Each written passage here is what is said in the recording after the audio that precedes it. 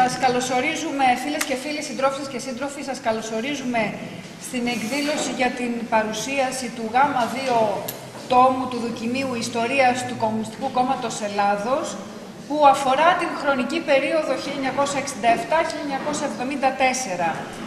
Η σημερινή μας εκδήλωση, φίλες και φίλοι, γίνεται ενώ οι εξελίξεις έχουν λίγο απ' όλα, με την ακρίβεια και το κόστος ζωής που τσακίζουν το λαϊκό εισόδημα, την εντατικοποίηση στους χώρους δουλειάς, την ανασφάλεια, τις χιλιάδες απολύσεις καθημερινά, τις σχέσεις εργασίας και τα ωράρια, λάστιχο, τους πληστηριασμούς, όλα δηλαδή εκείνα που διαλύουν τη ζωή εκατομμυρίων εργαζομένων.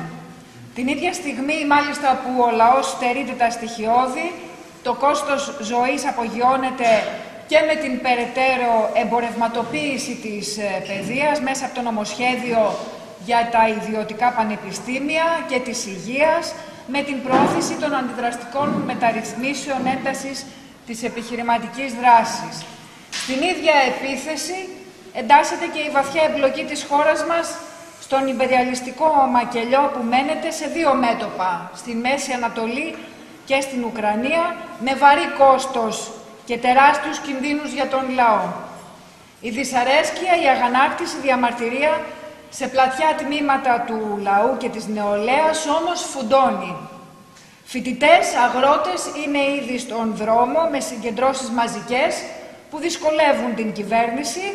Εργατικά κέντρα, ομοσπονδίες, σωματεία έχουν βάλει μπροστά τις μηχανές για να ακουστεί πιο δυνατά το σύνθημα τα κέρδη τους ή οι ζωές μας, που αποτυπώνει τους δύο κόσμους που συγκρούονται στην απεργία που βρίσκεται μπροστά μας στις 28 Φλεβάρι για ουσιαστικές αυξήσεις, για υπογραφή συμβάσεων απέναντι στα πανωτά κύματα ακρίβειας. Εκτιμάμε πως η μελέτη του δοκιμίου του πολύτιμου αυτού ντοκουμέντου μπορεί να βοηθήσει τη δράση μας και να γίνει πηγή ισχυροποίησης του κόμματος για τις προκλήσεις της ταξικής πάλης, όπως όμορφα διατυπώθηκε προχτές σε μία ανάλογη ε, εκδήλωση στην έδρα μας στην Κεντρική Επιτροπή των Περισσών. Περισσότερα όμως θα σας πει ο σύντροφος Κώστας Κολαρίκος, ο οποίος είναι υπεύθυνος του Τμήματος Ιστορίας της Κεντρικής Επιτροπής. Το τεύχος είναι εκεί, διατίθεται από τις οργανώσεις μας. Κώστα. Μιλάω εδώ, Ναι, μιλάω... ναι, ναι, ναι. Ας καθίσω εγώ, δεν σας πειράζει να είμαι καθιστός, να μην με βλέπετε. Λοιπόν, ε, συντρόφισσες και σύντροφοι... Λοιπόν, ε, θα προσπαθήσω όσο το δυνατόν πιο σύντομα να πιάσω μια περίοδο πάρα πολύ πυκνής σε εξελίξεις, έτσι όπως αποτυπώνεται στο γάμα 2 μέρος του δοκιμίου ιστορίας του κόμματος. Θα ξέρετε όλοι ότι φέτος συμπληρώνονται 50 χρόνια από την τραγωδία στην Κύπρο και από την αποκατάσταση της κοινοβουλευτικής δημοκρατίας. Ε, το επόμενο διάστημα είναι αναμενόμενο ότι θα υπάρξουν επαιτειακές εκδηλώσεις, το περιεχόμενο όμως των οποίων είναι λίγο έως πολύ γνωστό, ενώ οι νοηματοδοτήσεις που θα δοθούν στις επαιτίους. Ήδη από το 1974 και μετά η κυβέρνηση της Νέας Δημοκρατίας τότε παρουσίαζε τη δικτακτορία ως έργο κάποιων άφρονων αξιωματικών κόντρα στις θελήσεις της καπιταλιστικής εξουσίας και των διεθνών συμμάχων της. Αργότερα το Πασόκ, σε μια διαφορετική λογική, παρουσίασε τη δικτακτορία ως προέκταση του λεγόμενου μετεμφυλιακού κράτους της δεξιάς και μέσα από το σύνθημα «Ο αγώνας τώρα δικαιώνεται» θέλησε να παρουσιαστεί, να αυτοπροταθεί ως εφαρμοστής των οραμάτων και των ετοιμάτων του αντιδικτακτορικού αγώνα. Πρόσφατα η, του ΣΥΡΙΖΑ, η κυβέρνηση του ΣΥΡΙΖΑ παρουσίασε την αντιδικτακτορική πάλι ως καθαρά αντιφασιστική, απαλήφοντας φυσικά τον αστικό χαρακτήρα της δικτακτορίας, αλλά και τα συνθήματα, τα αντιπεριαλιστικά συνθήματα έξω ΕΙΠΑ, έξω τον ΝΑΤΟ που κοσμούσαν και τις πύλες του Πολυτεχνείου στη διάρκεια του ξεσηκωμού. Συνισταμένη των παραπάνω τοποθετήσεων και αναλόγων παρόμοιων που θα εμφανιστούν στα μέσα μαζικής ενημέρωσης αλλά να παράγονται και από ακαδημαϊκά έδρανα είναι η παρουσίαση της ιστορίας ως μια παραβίαση της καπιταλιστικής ε, νομιμότητας και ταυτόχρονα η θεωρητική τουλάχιστον αποδοχή του αντιδικτακτορικού αγώνα τότε και του εργατικού λαϊκού κινήματος σήμερα μόνο εφόσον δεν κατευθύνονται στην ανατροπή της καπιταλιστικής εξουσίας αλλά παραμένουν στα ανώδυνα μονοπάτια ετοιμάτων που απαιτούν ουτοπικά μια πιο εύρυθμη λειτουργία του καπιταλισμού. Ως ΚΚΕ είμαστε σε πλήρη αντίθεση σε διαρκή πόλεμο με την αστική ιδεολογία και τις παραλλαγές της που μεταφέρονται και εκδηλώνονται και μέσα στις γραμμές του εργατικού κινήματος και με την αντίστοιχη μεθοδολογία μελέτης της ιστορίας που προσπαθεί να εξηγήσει την ανθρώπινη δράση, τη στάση πολιτικών ηγετών, επιτελείων, αστικών κομμάτων, κρατικών μηχανισμών πάνω στη βάση ορισμένων προσωπικών ιδεών ή χαρακτηριστικών, συντηρητικών ιδεολειψιών ή προοδευτικών ιδανικών. Αντίθετα, υποστηρίζουμε ότι οι επιλογές των αστών ηγετών και των αστικών πολιτικών κομμάτων, αλλά και των μηχανισμών του καπιταλιστικού κράτους, είναι διαλεκτικά δεμένες με τις ανάγκες και τα συμφέροντα του κεφαλαίου σε κάθε εποχή. Στη σημερινή εποχή μπορούμε να μιλήσουμε για τις σημερινές προτεραιότητες που έχει η καπιταλιστική ανάπτυξη. Αυτό δεν σημαίνει ότι η δική μας επιστημονική μεθοδολογία αντικρίζει απλοϊκά και μηχανιστικά μόνο οικονομικά αίτια στη βάση των ιστορικών γεγονότων, υποτιμώντας τις μορφές της κοινωνικής ζωής, όπως μας κατηγορούν συχνά οι αντίπαλοι μας. Για μας η οικονομία είναι η βάση, όχι όμως και ο μοναδικός και αποκλειστικός παράγοντας που παίρνουμε υπόψη. Η μελέτη της πορείας των ιστορικών γεγονότων αναδεικνύει και το ρόλο που διαδραματίζουν οι νομικές και φιλοσοφικές θεωρίες, οι μορφές της πολιτικής εξουσίας του κεφαλαίου, οι μέθοδοι διαχείρισης των καπιταλιστικών συμφερόντων, οι διεθνείς αντιθέσεις, γενικότερα ό,τι υψώνεται πάνω σε αυτή την οικονομική βάση και αλληλεπιδρά μαζί της. Και φυσικά θεωρούμε ότι στην οικονομική βάση βρίσκονται και οι ταξικές αντιθέσεις, από τις οποίες πηγάζει η ταξική πάλι που κινεί την ιστορία προς τα μπρος.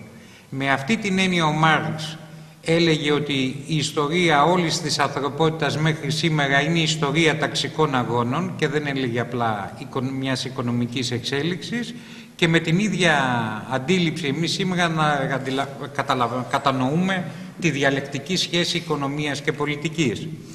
Με βάση τα προηγούμενα μπορούμε να πούμε ότι η δικτακτορία της 21ης Απρίλης ήταν, ε, ήταν προέκταση των χαρακτηριστικών και των αδιεξόδων του αστικού πολιτικού συστήματος όπως αυτός διαμορφώθηκε μετά την απελευθέρωση και ειδικότερα μετά την ήττα του Δημοκρατικού Στρατού Ελλάδας. Τότε η σταθεροποίηση της καπιταλιστικής εξουσίας στηρίχθηκε στη συνένωση όλων των αστικών πολιτικών δυνάμεων υπό τη σκέπη του βασιλιά και σε συμμαχία αρχικά με τον Βρετανικό και στη συνέχεια με τον Αμερικανικό υπεριαλισμό. Η σταθεροποίηση φυσικά αυτή εμπεριείχε την καταστολή του κομμουνιστικού και του εργατικού λαϊκού κινήματος, στην οποία πρωταγωνιστικό ρόλο έπαιξε ο στρατός και άλλοι κατασταλτικοί μηχανισμοί. Ωστόσο, ο θεσμός της Βασιλείας που στα πρώτα μεταπολεμικά χρόνια αποτέλεσε μια πρόσθετη ασφαλιστική δικλίδα προστασίας της καπιταλιστικής εξουσίας, όσο προχωρούσαν τα χρόνια και η καπιταλιστική ανάπτυξη άρχισε να μπαίνει εμπόδιο στις ίδιες τις ανάγκες της καπιταλιστικής εξουσίας. Ειδικότερα το πρόβλημα που εμφανίστηκε ποιο ήταν, ότι η Βασιλεία δεν είχε διακοσμητικό ρόλο στην Ελλάδα έτσι όπως καθιερώθηκε μετά το Δεύτερο Παγκόσμιο Πόλεμο, είχε δυνατότητα παρέμβασης στο σχηματισμό κυβερνήσεων και ταυτόχρονα είχε υπό τον έλεγχό της το στρατό. Αυτό αντικειμενικά δημιουργούσε δύο κέντρα της εκτελεστικής εξουσίας. Από τη μια πλευρά την κυβέρνηση και από την άλλη το παλάτι. Ακριβώς αυτό το γεγονός, όπως και το γεγονός ότι τη δεκαετία του 50 και ακόμα περισσότερο τη δεκαετία του 60 συνολικά το αστικό πολιτικό σύστημα παρουσιάστηκε ως παροχημένο στη δυνατότητα να ενσωματώνει και χωρίς καταστολή ευρύτερες εργατικές λαϊκές δυνάμεις οδήγησε σε κάποια διέξοδα το αστικό πολιτικό σύστημα και από τη δεκαετία του 50 και πολύ περισσότερο τη δεκαετία του 60 εμφανίστηκαν απόψεις μέσα στους κόλπους των βασικών αστικών κομμάτων που τάσσονταν υπέρ του εξυγχρονισμού του αστικού πολιτικού συστήματος και του περιορισμού αντίστοιχα των αρμοδιοτήτων του βασιλιά. Εκείνη την εποχή επίκεντρο των ενδοαστικών αντιθέσεων αποτέλεσε και το Κυπριακό. Έτσι, το Κυπριακό το οποίο δεν αφορά μόνο την Κύπρο, είναι μια, πρέπει να το δούμε λίγο πιο διευρυμένα, αφορά την ισορροπία δυνάμεων ανάμεσα στην ελληνική και στην τουρκική αστική τάξη που τότε όπως και σήμερα άνοικαν και, οι δύο, και τα δύο κράτη στο ΝΑΤΟ. Η αντιπαράθεση μάλιστα για το Κυπριακό εκδηλωνόταν σε ένα έδαφος που προετοιμαζόταν η ένταξη της Ελλάδας και στην ΕΟΚ. Τότε δεν ε, υπήρχε ακόμα η Ευρωπαϊκή Ένωση και μάλιστα σε ποια ΕΟΚ, σε μια ΕΟΚ που είχαν συστήσει ευρωπαϊκά καπιταλιστικά κράτη που σε μια πορεία χρόνου άρχισαν να αυτονομούνται από τον Αμερικανικό υπεριαλισμό. Με αυτόν τον τρόπο οι ενδοαστικές αντιθέσεις περιπλέχτηκαν με τις ενδοϊμπεριαλιστικές αντιθέσεις στην κρίσιμη γεωπολιτικά τότε όπως και σήμερα περιοχή της Νοτιοανατολικής Μεσογείου. Ως αποτέλεσμα των ενδοαστικών αντιθέσεων αλλά και των αντιεξόδων που είπαμε πριν του πολιτικού συστήματος, διαφορετικά καπιταλιστικά κέντρα επιχειρούσαν να ελέγξουν το στρατό και ετοίμαζαν σχέδια πραξικοπήματος είτε στρατιωτικού είτε πολιτικού στη βάση του συντάγματος του 1952 που έδινε αυτή τη δυνατότητα στο βασιλιά. Τελικά το πραξικόπημα σχεδιάστηκε και εκτελέστηκε από ένα τμήμα της αστικής τάξης σε συνεργασία με την ομάδα των συνταγματαρχών που κινήθηκαν με μεγαλύτερη αποφασιστικότητα και ταχύτητα.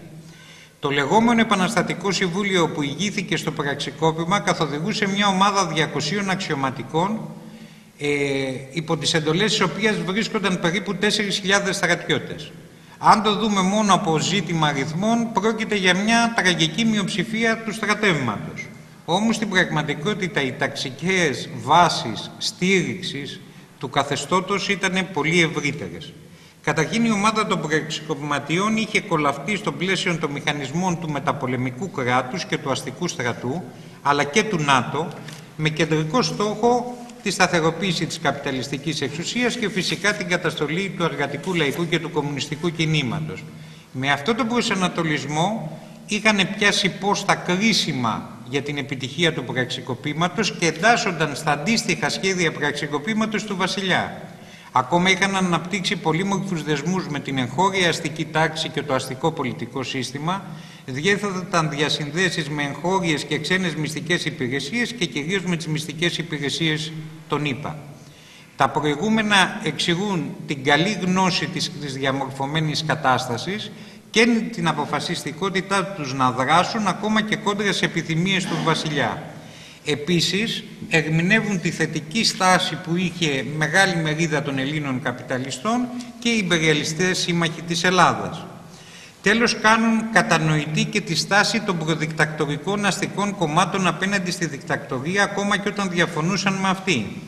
Τα αστικά κόμματα έβλεπαν την πτώση της εξίσου αστικής δικτακτορίας ως αποτέλεσμα μιας συμφωνίας κορυφής με τα ηγετικά στελέχη του καθεστώτος και με πιθανή παρέμβαση και τον, του ξένου παράγοντα.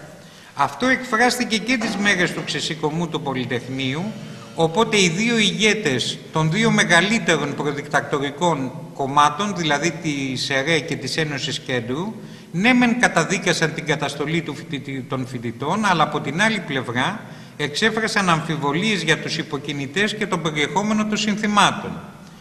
Την ίδια περίοδο ο Κωνσταντίνος Καραμαλής που, που, ήταν, που ζούσε στο Παρίσι και άρα είχε πλήρη ελευθερία κινήσεων προτίμησε να μην κάνει καμία δήλωση για το Πολυτεχνείο και την καταστολή του. Παρά τις θεαματικές διακηρύξεις περί ένοπλου αγώνα, παρόμοια ήταν η στάση του ΠΑΚ που αποτέλεσε πρόδρομο του σημερινού ΠΑΣΟΚ. Το ΠΑΚ σε συνεργασία και με κόμματα της Ευρωπαϊκής Σοσιαλδημοκρατίας ανέπτυξε πραγματικά μια αντιστασιακή δράση στο εξωτερικό, κυρίως ανάμεσα σε μετανάστες Έλληνες εργάτες. Όμως η παρουσία τους στην Ελλάδα ήταν ιδιαίτερα περιορισμένη, εντελώς δυσανάλογη με τις διακηρύξεις ότι θα ανατρέψει τη Χούντα με ένοπλο αγώνα.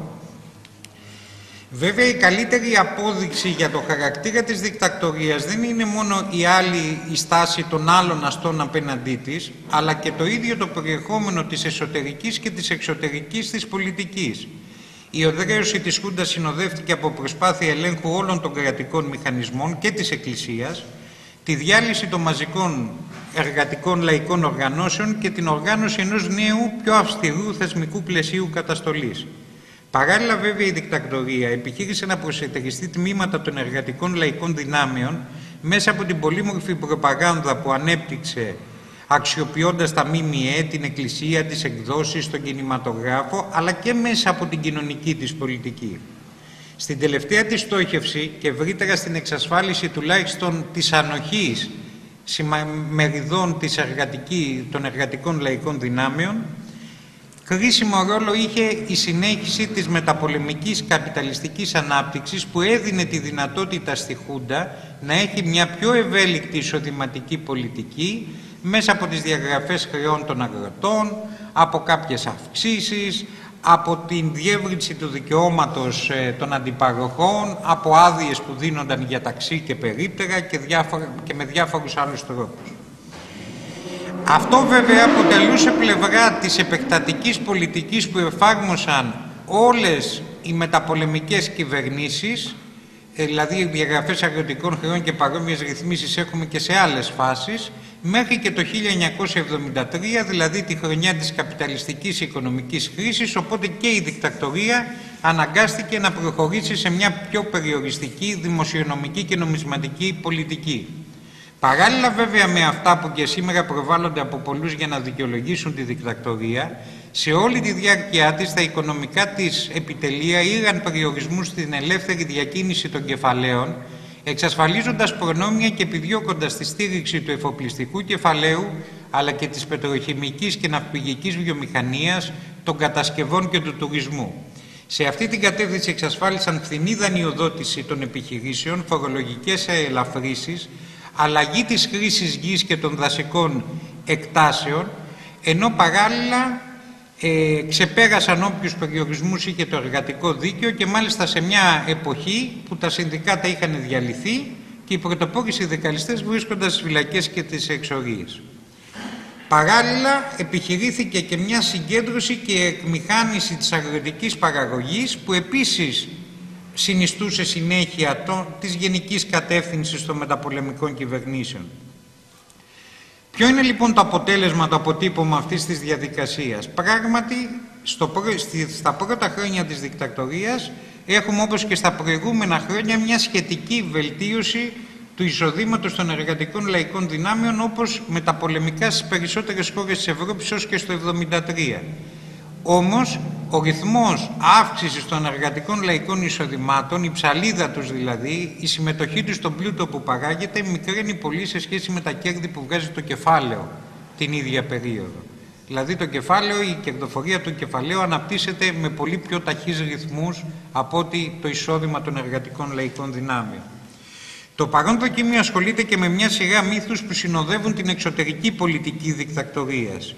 Στην πραγματικότητα λέμε ότι η διπλωματία της δικτακτορίας ήταν παρόμοια με αυτή των προδικτακτορικών κυβερνήσεων.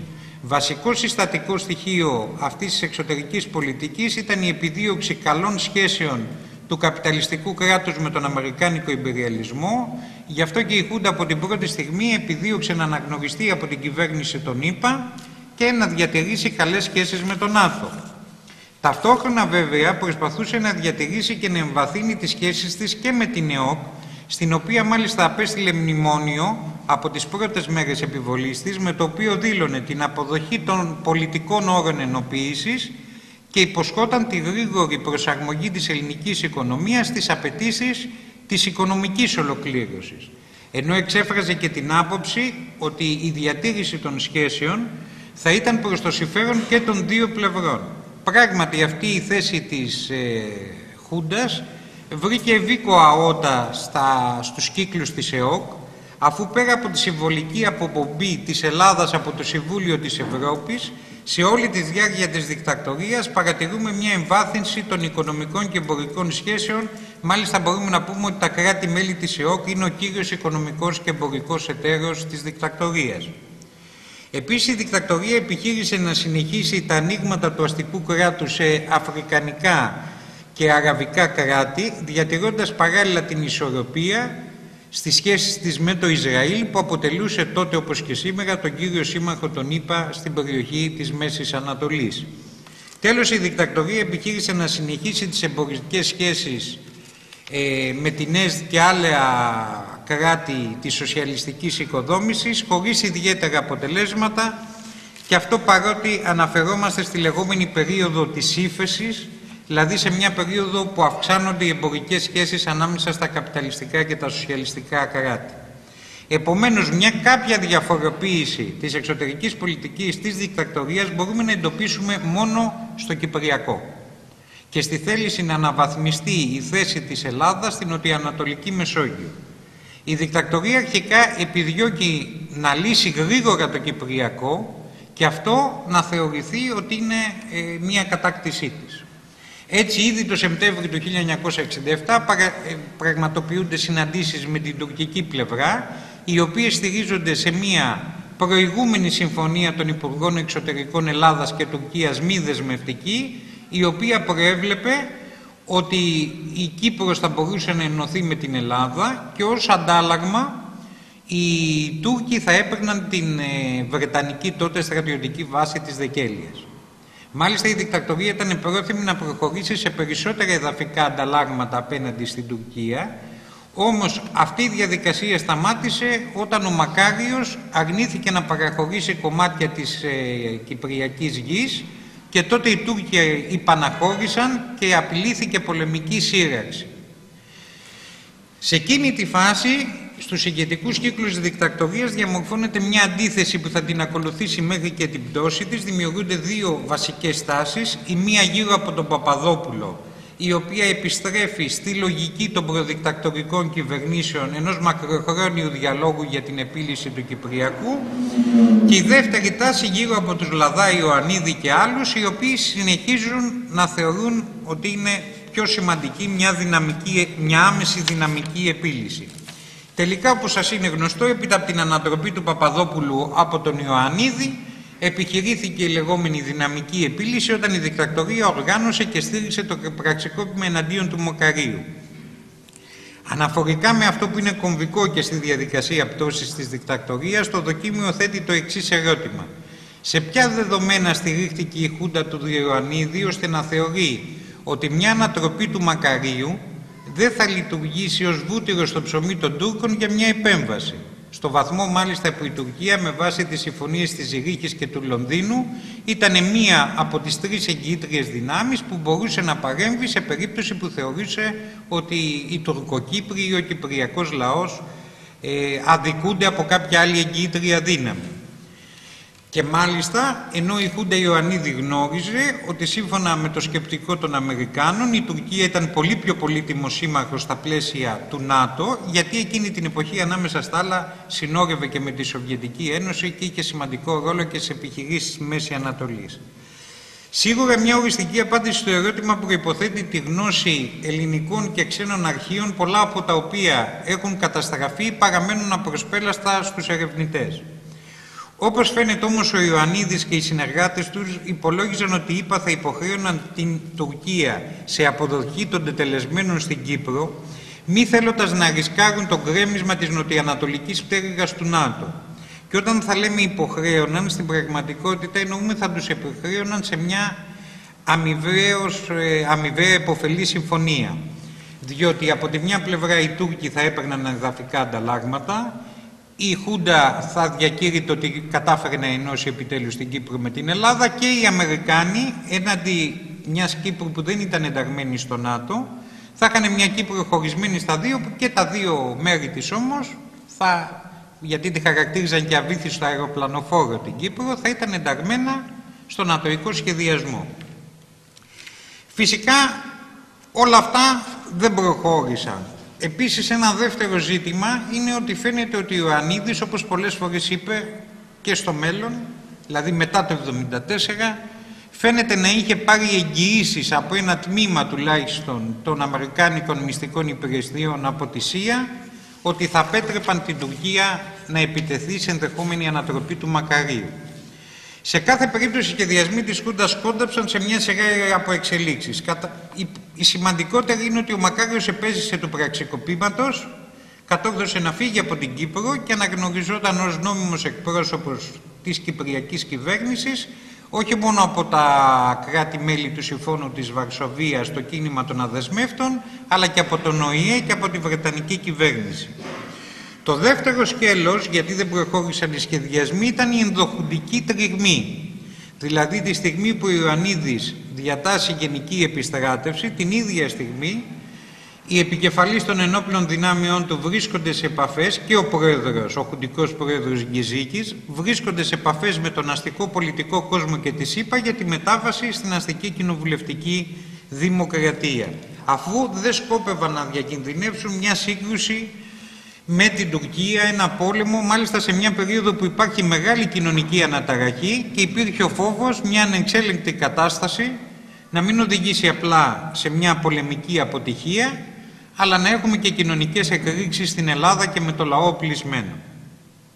Οι εξελίξεις φυσικά αυτές διευκόλυναν και τους σχεδιασμούς του ΝΑΤΟ ε, και τον ΗΠΑ στην περιοχή. Μπορεί η Νότια Κύπρος να μην εντάχθηκε εν τέλει στο ΝΑΤΟ, όμως και η Κύπρος πλέον ήταν πολύ πιο αδύναμη να έχει μια αυτόνομη εξωτερική πολιτική, γι' αυτό και δεν επιχείρησαν να αποτρέψουν ούτε τον Ατήλα 2 που εκδηλώθηκε μετά την αναφορά της αστικής κοινοβουλευτικής δημοκρατίας μετά τον εχρωμό του Καραμαλή.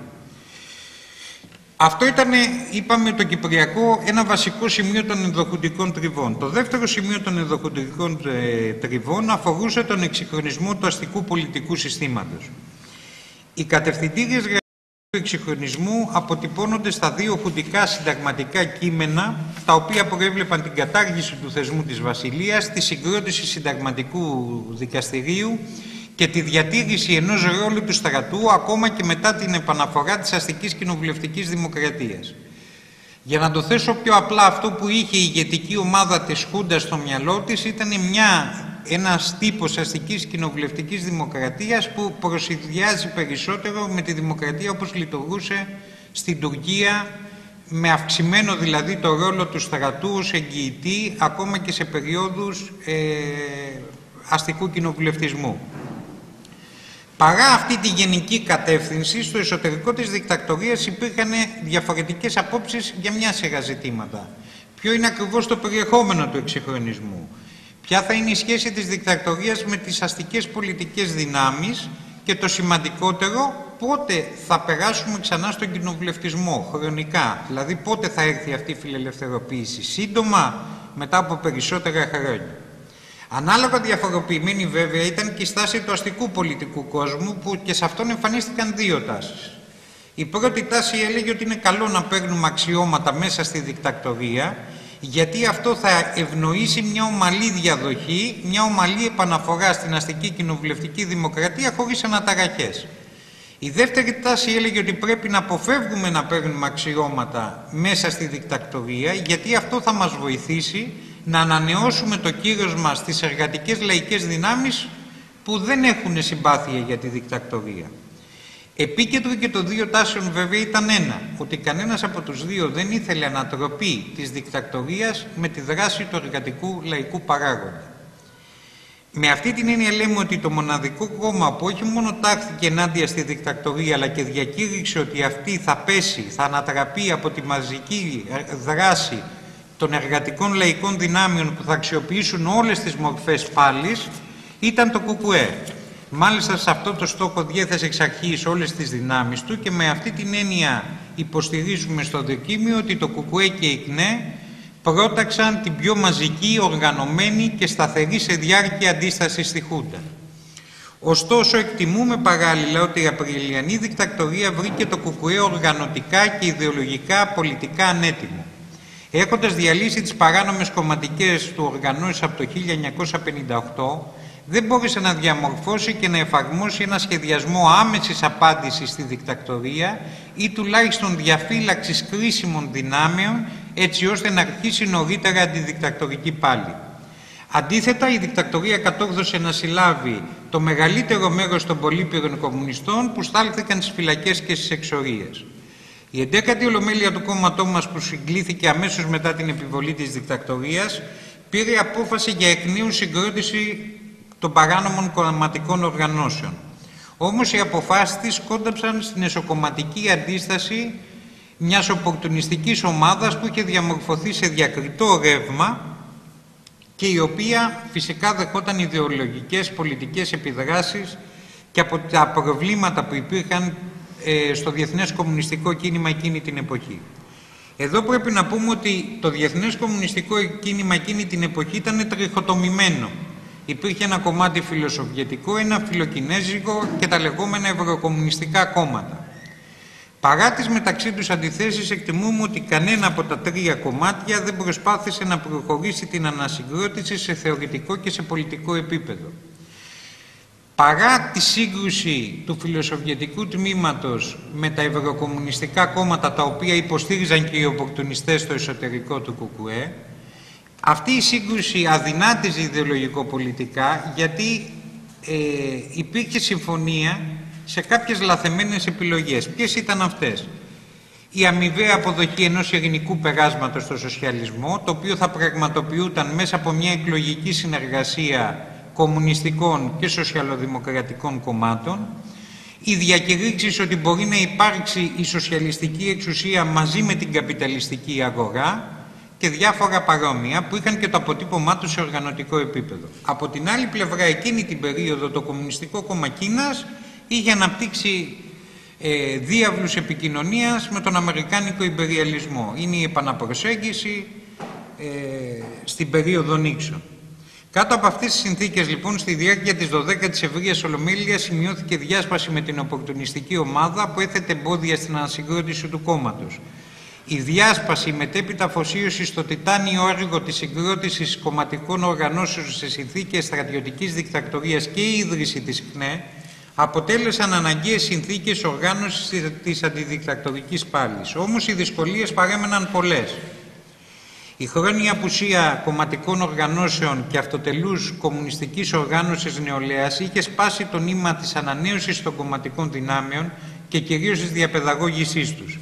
Ω συνέπεια, ένα σημαντικό μέρο των νεότερων αγωνιστών, παρά τη θέλησή του να αγωνιστεί ενάντια στη δικτακτορία, είχε ελάχιστες εμπειρίες παράνομης δράσης την ίδια στιγμή που βρισκόταν στο επίκεντρο των κτυπημάτων της ασφάλειας. Έτσι πολλές φορές η δουλειά της κομματικής οικοδόμησης ξεκινούσε πάλι από το μηδέν έπειτα από κάθε κύμα μαζικών συλλήψεων που εξαπέλυε η ασφάλεια. Αρνητικά στην ανάπτυξη της αντιδικτακτορικής πάλης επιδρούσε και η συνέχιση της καπιταλιστικής ανάπτυξης που είπαμε και νωρίτερα που διευκόλυνε την αποδοχή της Χούντας από τμήμα εργατικών λαϊκών δυνάμεων. Το ίδιο αρνητικά λειτουργούσε και το κλίμα της τρομοκρατίας που επέβαλε η δικτακτορία και η σύλληψη των πρωτοπόρων αγωνιστών και η διάλυση κάθε μορφής οργάνωσης του εργατικού λαϊκού κινήματος. Όταν φτιάχναμε σύντροφοι το δοκίμιο, γελάγαμε κάποια στιγμή γιατί βρήκαμε τον κατάλογο με τη λίστα των οργανώσεων που διέλυε η Χούντα, οι οποίες έφταναν μέχρι σε επίπεδο συλλόγου γονέων. Θα σας πω ένα ενδεικτικό παράδειγμα. Υπήρχε ένας σύλλογος που λεγόταν Σύλλογος Κυριών Φίλων Παρασίνου Νίκαιας και σε παρένθεση έγραφε ο μηχανισμός Κινεζόφιλοι. Έτσι. Δηλαδή, ακόμα και ένας σύλλογος φίλων Παρασίνου που προφανώς κάποιοι μαοικοί δρούσαν στο εσωτερικό του είχε βγει στην παρανομία. Δεν μιλάμε μόνο για τα συνδικάτα, τα κόμματα. Έτσι διαλύθηκαν αθλητικές οργανώσεις, σκακιστικοί όμιλοι, οπουδήποτε μπορούσε να αναπτυχθεί κουβέντα και πολιτική δράση. Γι' αυτό ειδικά το πρώτο διάστημα της δικτακτορίας ήταν ιδιαίτερα σημαντική η ηρωική στάση των μελών και των στελεχών του ΚΚΕ στην ανάκριση στις φυλακές και στις εξορίες, αφού ενίσχυε ιδεολογικά το αντιδικτακτορικό κίνημα όταν όλα τάσκαζε η φοβέρα και παράλληλα υπήρξε η απόδειξη ότι δεν είχαν σκύψει όλοι το κεφάλι, ότι κάποιοι συνέχιζαν κόντρα σε αυτό που προσπαθούσε να δείξει η δικτακτορία να βρίσκονται απέναντί της. Στα συμπεράσματα του προτινόμενου δοκιμίου υπογραμμίζεται ότι το ΚΚΕ έδωσε από την πρώτη στιγμή τις περισσότερες θυσίες στον αντιδικτακτορικό αγώνα. Χιλιάδες κομμουνιστές και κομμουνίστριες συνελήφθησαν, δικάστηκαν, βασανίστηκαν, εξορίστηκαν. Ορισμένοι από αυτούς προσέφεραν ακόμα και τη ζωή τους ε, δολοφονημένοι από τα όργανα της δικτακτορίας ή πεθαίνοντας από τις κακουχίες και τα βασανιστήρια στις φυλακές και στις εξορίες. Η δράση τους αποτυπώνεται σε πολλά κεφάλαια αυτού του δοκιμίου και πρέπει να αποτελέσει δίδαγμα για την ανάγκη δράσης του κόμματός μας κάτω από όλες τις συνθήκες, ακόμα και στο δυσμενέστερο συσχετισμό δυνάμεων, και φυσικά πρέπει να αποτελέσει και παράδειγμα για όλους εμάς τους σημερινούς κομμουνιστές, ειδικότερα για τις νέες γενιές των κομμουνιστών. Γυρνώντας τώρα στις δυσκολίες που αντιμετώπιζε η κομματική οικοδόμηση και κατά προέκταση η ανάπτυξη του αντιδικτακτορικού κινήματος σε συνθήκες βαθιάς παρανομίας, είναι απαραίτητο να επισημανθεί η πολεμική και η διαβρωτική δράση της οπορτουνιστικής ομάδας που μετεξελίχθηκε στο λεγόμενο κουκουέ εσωτερικού. Ακόμα και το όνομα που επέλεξαν υπονοούσε ότι υπήρχε ένα κομμάτι των κομμουνιστών που καθοδηγούνταν από το εξωτερικό και οι ίδιοι που δρούσαν αυτόνομα παράνομα στη χώρα. Αυτό όμως στην πραγματικότητα ανανέωνε όλη τη μετεμφυλιακή αντικομουνιστική προπαγάνδα που μιλούσε για ξενοκίνητο κουκουέ και πράκτορες της Μόσχας. Λίγο πολύ και χρησιμοποιούσαν παρόμοια επιχειρήματα. Ο αρνητικός αντίκτυπος της τάσης των οπορτουνιστών μεγενθυνόταν και εξαιτίας της τάσης της ηγεσίας του κόμματος, η οποία ναι μεν προχώρησε στη διάσπαση, αλλά συνέχισε να καλεί τα πρώην στελέχη του κόμματος να εκφράσουν τις διαφωνίες τους σε κομματικά όργανα ή σε ένα επόμενο συνέδριο. Και αυτό δημιουργούσε συγκίσεις. Αυτή η τοποθέτηση, αν και φαίνεται παράλογη, είχε ένα συγκεκριμένο αντικειμενικό υπόβαθρο. Και το υπόβαθρο αυτό ήταν το γεγονός ότι παρά το ότι η πλειοψηφία της ηγεσίας του κόμματος και της Κεντρικής Επιτροπής αντέδρασε απέναντι στις ακραίες εκφάνσεις του οπορτουνισμού, δεν συνέδεσε τα οργανωτικά ζητήματα που υπήρχαν με τη γενικότερη ιδεολογική πολιτική κρίση που, υπήρχε, που σοβούσε στο ΚΚΕ από τη δεκαετία του 50. Η συζήτηση και ο προβληματισμός που αποτυπώνεται και στο δοκίμιο και θα μπορέσετε να διαβάσετε, που αναπτύχθηκε αφορούσε κυρίως το λεγόμενο κομματικό οργανωτικό πρόβλημα. Σε μια πρώτη φάση μάλιστα το κόμμα τι έλεγε ότι ήταν σωστή η διάχυση των κομμουνιστών στην ΕΔΑ, ήταν λάθος ότι δεν ιδρύθηκαν ταυτόχρονα και παράνομες κομματικές οργανώσεις. Μόνο μετά τη 18η Ολομέλεια του 1973 εκτιμήθηκε ως θεμελιακό λάθος η διάλυση των κομματικών οργανώσεων και η ένταξη των κομμουνιστών στην ΕΔΑ. Και πάλι όμως η θέση αυτή δεν συνδέθηκε με την επανεκτίμηση της στρατηγικής του κόμματος. Ως αποτέλεσμα η στρατηγική του κόμματος συνέχισε να θεωρεί ότι η επαναστατική πάλι για την κατάκτηση σοσιαλιστικής εξουσίας χωρίζεται σε δύο στάδια. Το πρώτο το λεγόμενο αστικοδημοκρατικό που θα μπορούσε να πραγματοποιηθεί σε συνεργασία με τους αγρότες, με τα μεσαία στρώματα, ακόμα και με κομμάτια της αστικής τάξης και με τους πολιτικούς εκπροσώπους τους αντίστοιχους προοριζόταν να ολοκληρώσει ορισμένους απαραίτητους εξυγχρονισμούς με φιλολαϊκό τρόπο προκειμένου να ανοίξει ο δρόμος προς το σοσιαλισμό. Στο πλαίσιο της συγκεκριμένης στρατηγικής εντασσόταν και η δημιουργία μιας κυβέρνησης όλων των αντιδικτακτορικών δυνάμεων που φυσικά θεωρούταν επιμέρους στόχος αλλά ήταν συνειφασμένος με την πραγματοποίηση του αστικοδημοκρατικού λεγόμενου σταδίου της Επανάστασης. Στο ίδιο πλαίσιο ο υπεριαλισμός αποσπόταν στις διακηρύξεις του κόμματος από τις σύγχρονες καπιταλιστικές σχέσεις παραγωγής και λάμβανε αποκλειστικά της εικόνας της εξωτερικής επιβολής πολιτικής, οικονομικής και στρατιωτικής των ισχυρών καπιταλιστικών κρατών απέναντι στα δύναμα και στην περίπτωση της Ελλάδας της επιβολής των ΗΠΑ απέναντι στο ελληνικό καπιταλιστικό κράτος. Γι' αυτό και η δικτακτορία παρουσιόταν λαθεμένα ως ξενοκίνητη ή αμερικανοκίνητη αποκλειστικά. Από όλα αυτά ποιο ήταν το συμπέρασμα, ότι προτασόταν μια ενδιάμεση εξουσία ανάμεσα στον καπιταλισμό και στον σοσιαλισμό για να, η οποία θα ήταν ανεξάρτητη από, το, από τις επεμβάσεις του ξένου κεφαλαίου και του υπεριαλισμού και η οποία θα προέκυπτε μέσα από μια συνεργασία των κομμουνιστών με αστικές πολιτικές δυνάμεις. Γι' αυτό ακριβώς, ενώ μιλάνε πολλές φορές στα ντοκουμέντα του κόμματος της εποχής για επανάσταση, ταυτόχρονα λείπει οποιαδήποτε αναφορά στον όρο επαναστατική κατάσταση, που είναι το αντικειμενικό έδαφος πάνω στο οποίο εκδηλώνεται μια επανάσταση. Η επανάσταση δεν εκδηλώνεται όποτε το θέλουν οι κομμουνιστές, γιατί εμείς το θέλουμε και σήμερα εκδηλώνονται όταν υπάρχουν οι αντικειμενικές προϋποθέσεις. Συμβάδιζε αυτή η επεξεργασία με τις τότε εξελίξεις. λέμε και καταγράφεται σε ξεχωριστά κεφάλαια του δοκιμίου ότι η εξέταση της πείρας όλου του διεθνούς κομμουνιστικού κινήματος εκείνη την εποχή από την εξέταση προκύπτει το ασφαλές συμπέρασμα ότι πάλι σε συνεργασία με τις αστικές πολιτικές δυνάμεις για την αποτροπή ή για την ανατροπή μιας αστικής δικτακτορίας δεν μπορεί να αποτελέσει πρόσφορο πεδίο συγκέντρωσης δυνάμεων για μια σοσιαλιστική επανάσταση. Αυτό αναδεικνύει τόσο η συμμετοχή του Κομμουνιστικού Κόμματος Χιλής στην κυβέρνηση της Λαϊκής Ενότητας, όσο και η ηρωική πάλι των Πορτογάλων κομμουνιστών για την ανατροπή της πολιετούς δικτακτορίας στην Πορτογαλία. Το ίδιο ισχύει και για την πάλι για την κατάκτηση δημοκρατικών δικαιωμάτων στο πλαίσιο της αστικής δημοκρατίας.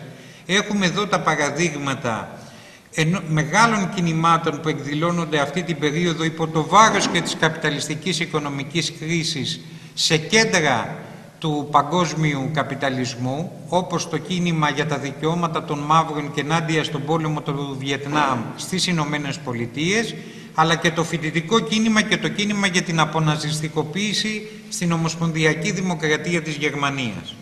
Επίσης, η πείρα από την ιστορία του Διεθνούς Κομμουνιστικού Κινήματος στη συγκεκριμένη περίοδο αναδεικνύει τον τοπικό χαρακτήρα της πάλης για την κοινοβουλευτική κατάκτηση της σοσιαλιστικής εξουσίας, όπως και τις καταστροφικές συνέπειες από την υπαγωγή της ταξικής πάλης σε αυτή τη ρεφορμιστική στρατηγική. Αναφερόμαστε εκτεταμένα στα παραδείγματα του Μάη του 1968 στη Γαλλία, στο θερμό φθινόπωρο της Ιταλίας το 1969, που μας δείχνουν έτσι, πώς τα όρια και τα αδιέξοδα αυτής της στρατηγικής, όπως μας δείχνουν και τι, όπως μας θα δείχνει και η συνολικότερη πορεία του εκφυλισμού των κομμουνιστικών κομμάτων σε αυτές τις χώρες. Επιστρέφοντας στην Ελλάδα της δικτακτορίας, η σταδιοποίηση της στρατηγικής ανεξάρτητα από προθέσεις μετέθεται αντικειμενικά το στόχο του σοσιαλισμού σε ένα απότερο μέλος. Α, σε ένα απότερο μέλλον. Επομένως δυσκόλευε όχι μόνο με την αντιπαράθεση με τις αστικές και οπορτουνιστικές δυνάμεις, αφού απάλυφε τις διαφορές σε επίπεδο πολιτικών διακηρύξεων, δεν μπορείς να κάνεις διαπάλη με κάποιον όταν όλοι υποστηρίζουν ότι βασικός στόχος είναι να ανατραπεί η δικτακτορία, αντικειμενικά, και αυτό τι συνέπειες είχε, είχε συνέπειες στην προετοιμασία του εργατικού λαϊκού παράγοντα να συγκρουστεί με τις αστικές και οπορτουνιστικές δυνάμεις, αλλά και με όλους τους μηχανισμούς του καπιταλιστικού κράτους που στηρίζουν την καπιταλιστική εξουσία. Από τη μελέτη λοιπόν της ιστορίας τη συγκεκριμένη περίοδο πηγάζει ένα ακόμα σημαντικό συμπέρασμα που αφορά την αξία και της κομματικής συλλογικότητας η οποία δεν πρέπει να αναιρείται ή να καταργείται. Αναμφισβήτητα η συλλογικότητα σε όλη την κλίματα του κόμματος δεν διασφαλίζεται με τον ίδιο τρόπο σήμερα και σε συνθήκες δικτακτορίας. Απαιτείται συνεχής ένταση της προσπάθειας, αναζήτησης μορφών και τρόπων περιφρούγησης συλλογικότητας, καθώς και της ανάπτυξης ατομικής πρωτοβουλίας, αφού ο κομμουνιστής και η κομμουνίστρια δρούν ακόμα και αποκομμένοι, πάντα προσανατολισμένοι από τα συμφέροντα της εργατικής τάξης και των λαϊκών στρωμάτων.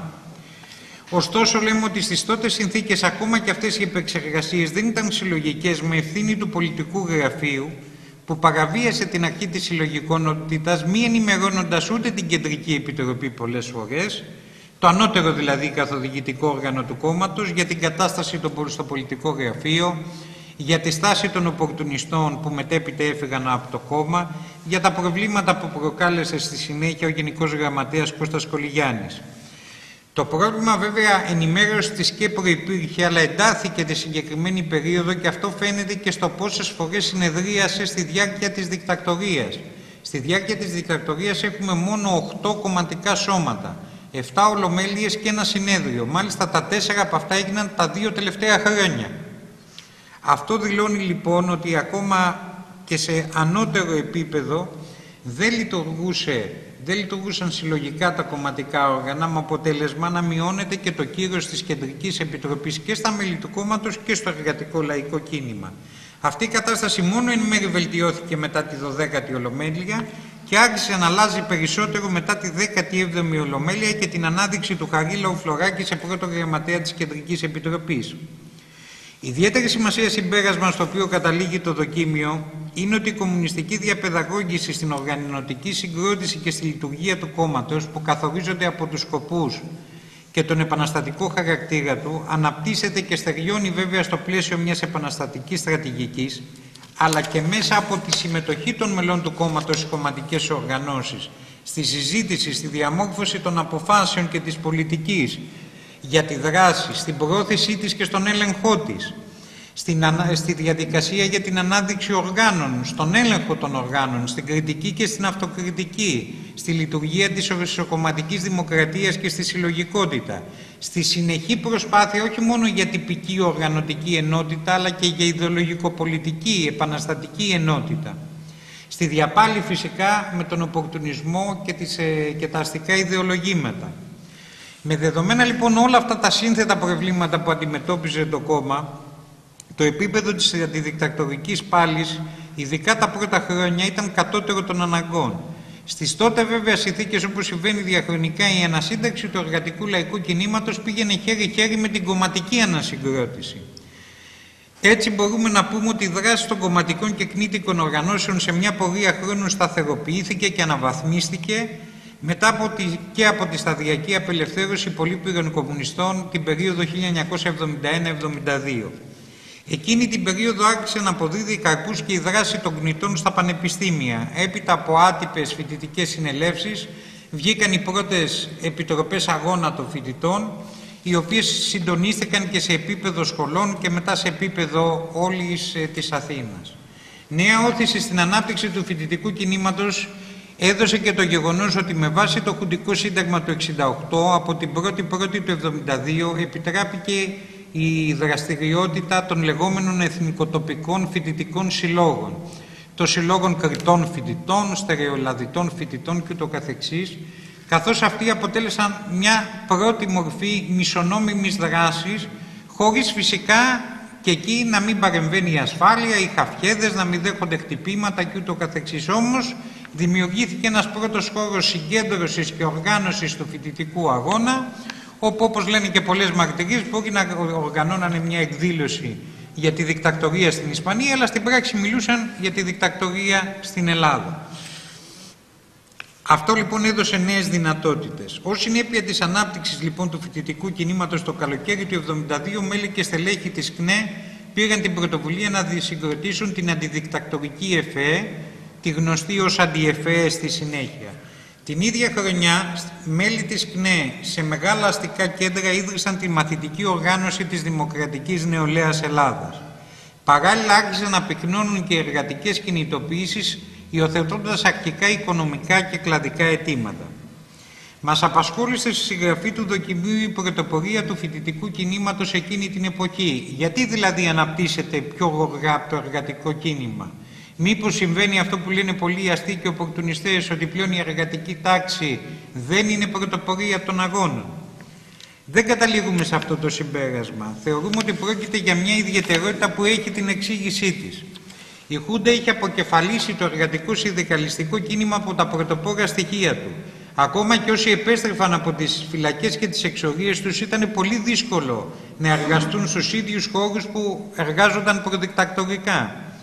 Παράλληλα, εξαιτίας της μακροχρόνιας απουσίας παράνομων κομματικών οργανώσεων, η ανασυγκρότηση του εργατικού κινήματος στι συνθήκε δικτακτορίας αποδείχτηκε ένα σύνθετο και δύσκολο καθήκον. Όπως δύσκολο βέβαια καθήκον αποδείχτηκε και η διατήρηση των προδικτακτορικών οργανώσεων των φοιτητών. Τι συνέβη όμως και ευνόησε το φοιτητικό κίνημα, Εξαιτίας της ταχείας εναλλαγής των φοιτητών στο πανεπιστήμιο, σε μια πορεία χρόνου εντάχθηκαν στο κίνημα άνθρωποι άγνωστοι στις αρχές καταστολής, που εξαιτίας αυτού είχαν μια μεγαλύτερη ελευθερία κινήσεων.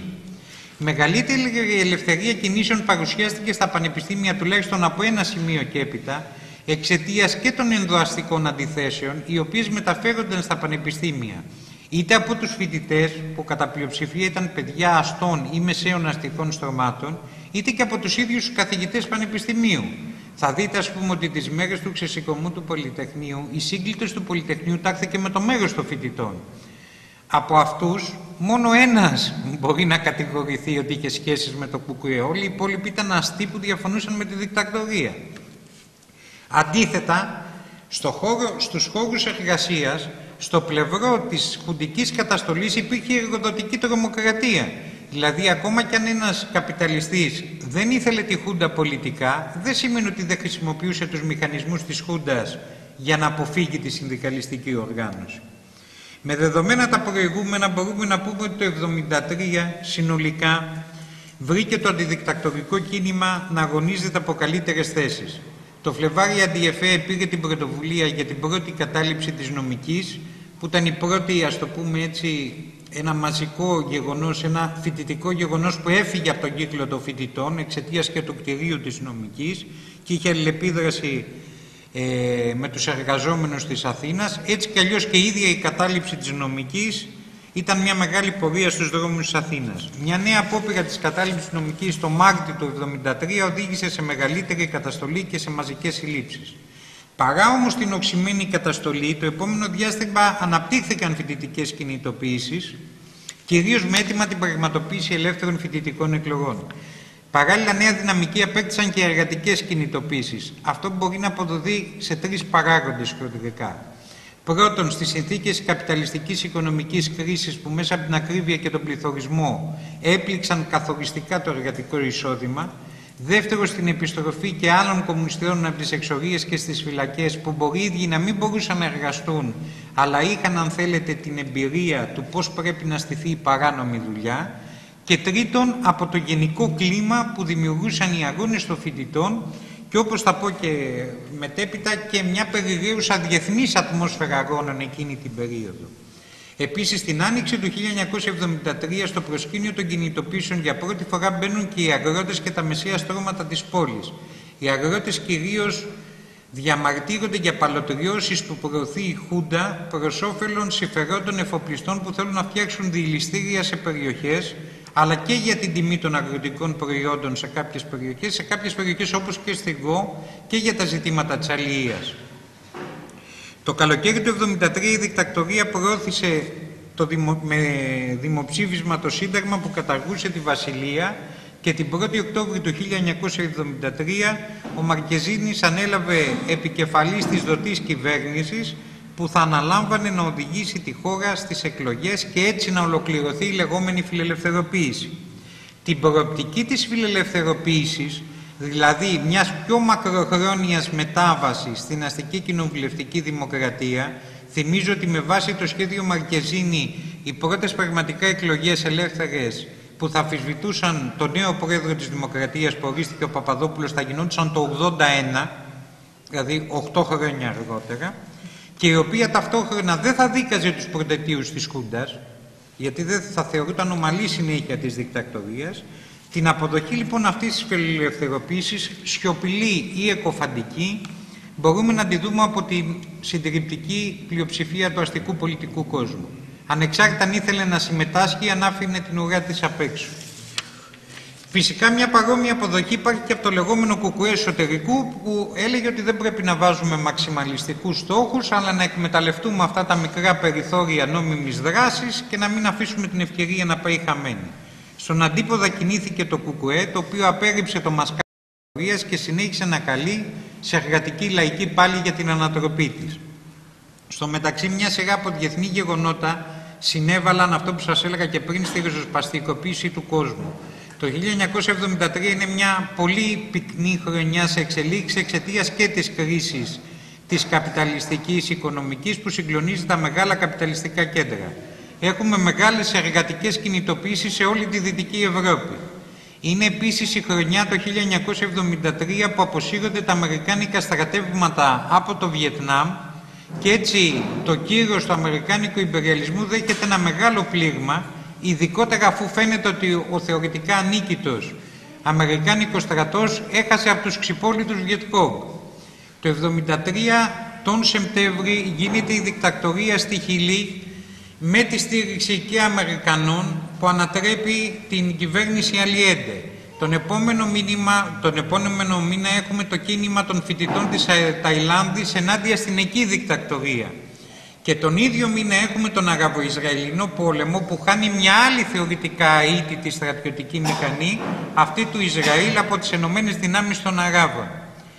Μέσα λοιπόν σε αυτό το πλαίσιο, για να πούμε, στα γεγονότα της εποχής εμφανίζεται η δράση και αποτυπώνεται αυτό το πλαίσιο ακόμα και στα συνθήματα που χρησιμοποίησαν οι φοιτητές και οι εργάτες και στο Πολυτεχνείο όπως το σύνθημα «Απόψε θα γίνει Ταϊλάνδη». Δηλαδή το πώς αλληλεπιδούσαν οι ειδήσεις που ερχόντουσαν και από το εξωτερικό.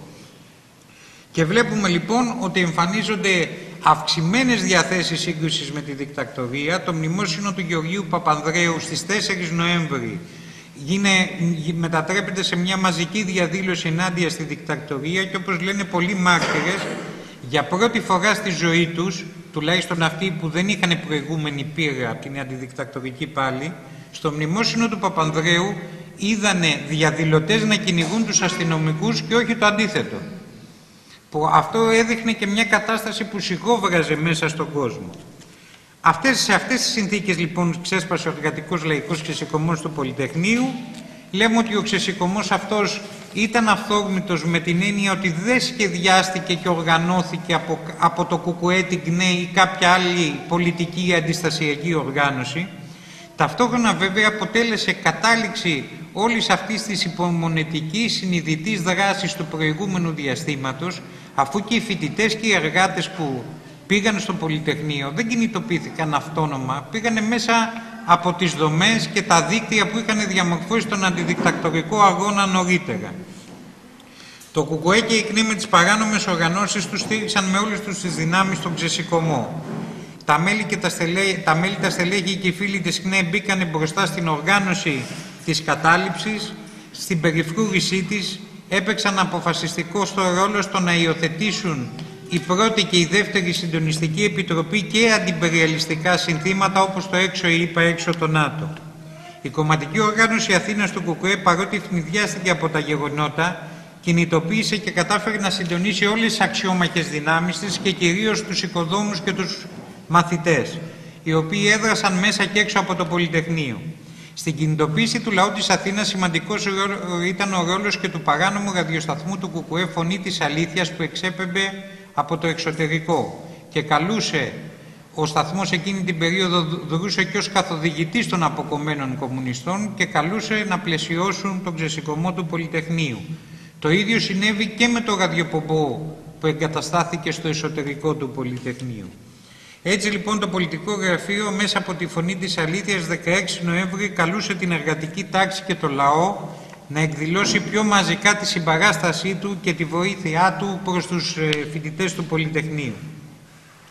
Ωστόσο η παρέμβαση του κόμματος παρουσίασε και μια σειρά δυναμίες, άλλες υποκειμενικές και άλλως σε ένα βαθμό αντικειμενικές λόγω των συνθήκων της παρανομίας και του επίπεδου οργανωτικής ανάπτυξης του ΚΚΕ και της ΚΝΕ και ενός σύνθετου όγκου καθηκόντων.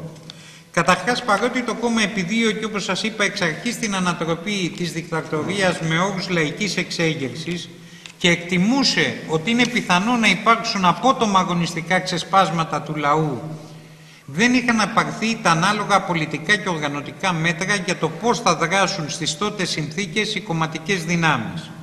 Και ειδικότερα στις μέρες του Πολυτεχνείου δεν κατόρθωσε να δημιουργηθεί ένα καθοδηγητικό κέντρο μέσα ή κοντά στο Πολυτεχνείο που να προσπαθεί να συντονίσει αυτή τη δράση. Και αυτό ενώ είχαν προηγηθεί άλλα μαζικά γεγονότα όπως οι καταλήψεις της νομικής, ε, το μνημόσυνο του Παπαδρέου που έδειχναν ότι μια τέτοια κατάσταση μπορεί να προκύψει σύντομα. Γενικότερα εμείς στο δοκίμιο ασχοληθήκαμε με αυτή τη σχέση αυθόρμητου συνειδητού γιατί θεωρούμε ότι δεν παράγει αποτελέσματα μόνο για την περίοδο της δικτακτορίας. Αντίθετα σε όλη τη συνολική διαδρομή του κόμματος, αλλά και του διεθνούς κομμουνιστικού κινήματος, τι αποδεικνύεται; Ότι σε περιόδους μεγάλων, μεγάλης εργατικής λαϊκής αγανάκτησης που σιγοβράζει, μπορεί να υπάρξουν γεγονότα, κρίκη, ε, κάποια ξεσπάσματα που μπορούν να οδηγήσουν σε απότομη άνοδο της ταξικής πάλης και το κόμμα πρέπει να είναι έτοιμο να καθοδηγήσει και οργανωτικά και το κυριότερο να δώσει πολιτική κατεύθυνση σε αυτή την πάλη ώστε να αντιστρέψει ενάντια στην καπιταλιστική εξουσία. Στις τότε συνθήκες, πέρα από τις οργανωτικές αδυναμίες, όπως σας είπα, υπήρχε και ιδεολογικοπολιτική αδυναμία. Δηλαδή τα μέλη και τα στελέχη της ΚΝΕ που δρούσαν στις συντονιστικές επιτροπές έβαλαν το πλαίσιο της αποκατάστασης της αστικής δημοκρατίας, γιατί αυτό έλεγε η στρατηγική μας. Και αυτό λίγο έως πολύ ήταν το σημείο συνένωσης όλων των πολιτικών δυνάμεων που έδρασαν στη διάρκεια του εργατικού λαϊκού ξεσηκωμού.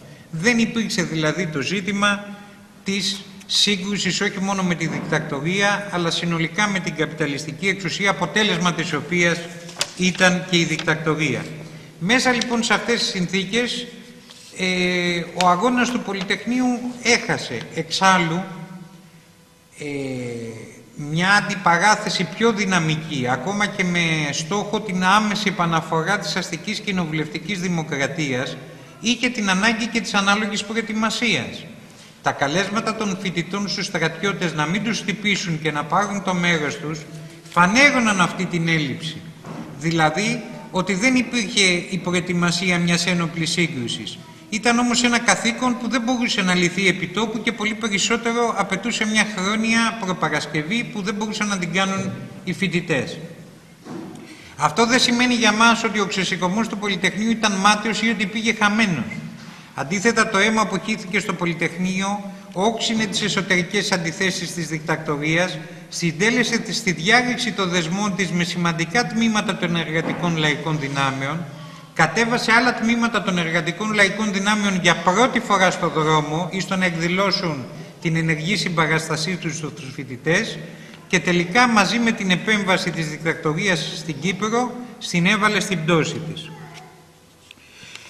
Ένα ζήτημα που συνδέεται με τη στρατηγική που αναφέρουμε και πιάνεται ξεχωριστά στο δοκίμιο, το έχουμε πιάσει και σε άλλα δοκίμια, αλλά επειδή αφορά τη συγκεκριμένη περίοδο, αφορά το ζήτημα της αυτοκτονίας του Νίκου Ζαχαριάδη που σημειώθηκε και αυτή το καλοκαίρι του 1973.